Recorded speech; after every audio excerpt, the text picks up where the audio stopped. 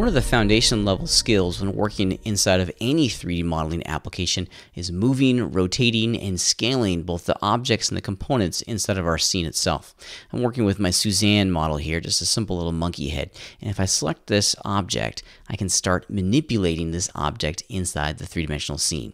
Now with it selected, these transform tools inside of the object mode will allow me to very easily and very quickly move rotate and scale all these objects. Now, it goes without saying that if you click on one of these arrows, you're going to be transforming and moving that object along that axis, which is pretty cool.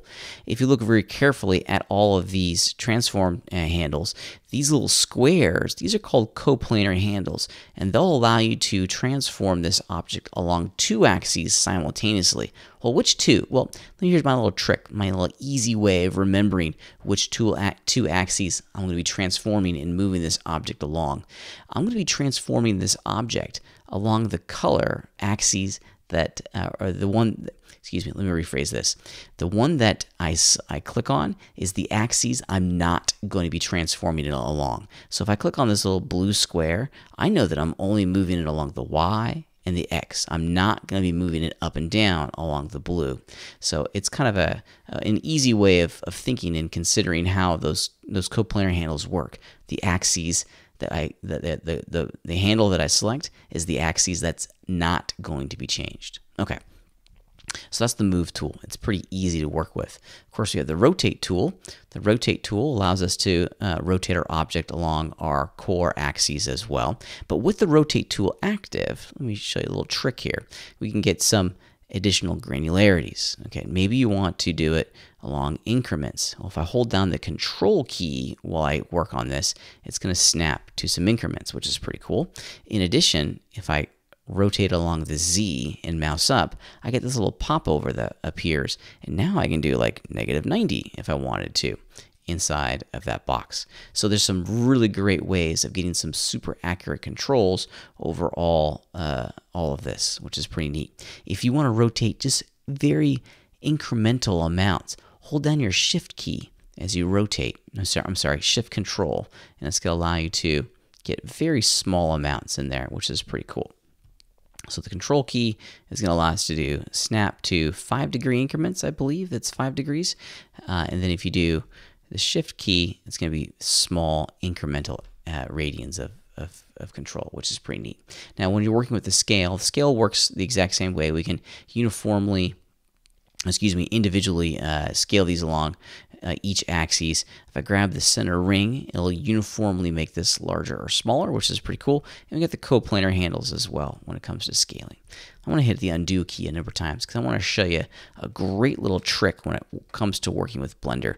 We don't necessarily have to use the transform tools in order for us to transform our objects because there's a great keyboard shortcut or a series of keyboard shortcuts that makes moving, rotating, and scaling really, really easy. Let me show you what I'm talking about. So I have my object selected, and if I hold down the G key, I'm going to be in grab mode.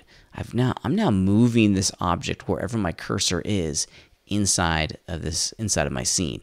Now it's using the current orientation of my screen to determine the axes of manipulation. Uh, but if you want some more granular control, maybe you want to only move good old Suzanne here along the X. Well, hold down the middle mouse button and you can see, check it out, that now you'll get the XYZ indicator lines and the little gray line will allow you to choose which axes you're going to move along. So that's a great little trick. I like working with that. You'll see me do this all the time, especially when I'm working in my orthographic viewports. Check this out. We'll go into area. We'll toggle the quad view. Because in here, now just grab it. This is a two-dimensional viewport. So if I just hit the grab grab key, yeah, check it out. Now I can just grab it, grab it and go. It makes working inside of these environments pretty easy and very fast. Let me toggle the quad view again. Same goes for the rotation, okay? So the G is going to be grab. You can also, I forgot to mention, excuse me, if you want to transform along just the Y axis or just the X axis, tap that keyboard, uh, or tap, tap that letter on your keyboard. Maybe I want to move and translate good old Suzanne along the Y axis. We'll hit the G key for grab, and then Y key, and now it's going to lock it along the Y axis. So if you don't have access to a three button mouse, that's another great way of filtering which axis you're going to be translating this object inside of our three dimensional scene. Same goes with rotate. I'll go back to my box select. The R key will fire off rotate. Select it first, hit the R key. Maybe we only want to rotate along the Y. Well, hitting R and then Y will allow you to, uh, to rotate along that axis, which is pretty neat. Same with scale, as one might imagine. The S key is going to be for scale. And now we can uniformly scale pretty quickly just with the with the S with the S key on the keyboard. So the G for grab let me select first G for grab, R for rotate, and then S for scale are three great keyboard shortcuts that'll make moving, rotating, and scaling our objects or components inside of Blender just really super fun and super fast.